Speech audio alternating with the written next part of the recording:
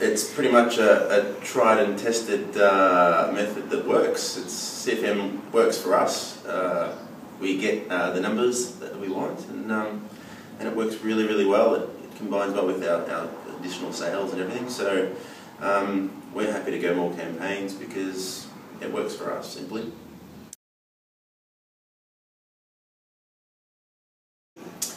Very, very well. Uh, both Tash and Jack uh, both fitted in like they were employed members or employed staff. They uh, implemented their own systems and, and combined them with ours and it worked really, really well.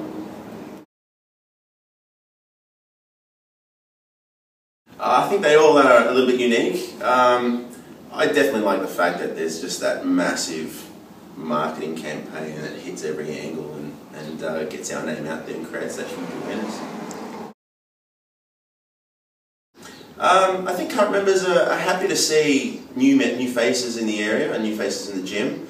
Um, it's uh, it doesn't because it feels like it's part of the gym. It is the gym doing essentially the campaign it's not like it's uh, it doesn't interfere with anything. So it's um, I think they're comfortable with it and they're happy with the extra vibe that the the campaign and the members bring. So yeah, I think it actually um, lifts spirits.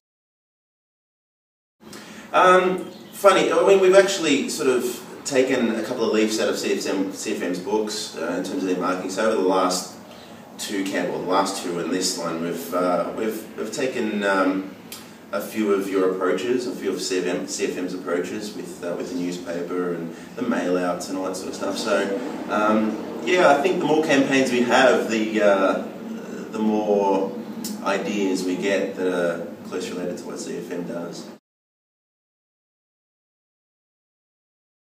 Um, I think there's just a slight decrease in our regular sales, um, but from past campaigns the uh, the on selling from after that campaign is way elevated. It's uh, there's people coming in for weeks after saying, "Hey, I saw this campaign a couple of weeks ago. Um, what can we do?" And so the sales from months leading after the campaign are usually much higher. Well, I guess the biggest concern was the fact that so many uh, low budget 24 hour gyms have opened up in the area with a very similar price point. Um, and would we get the numbers given that they've done a fair bit of heavy, heavy marketing in the area over the last six to 12 months? Um, obviously, come down, the answer is the numbers still came in, which is, you know, the answer to it. Obviously, the marketing works and uh, the awareness works, and just because we're able to offer so much more than a 24 hour gym, I guess, you know, uh, the fact that the numbers came in and all the marketing did work.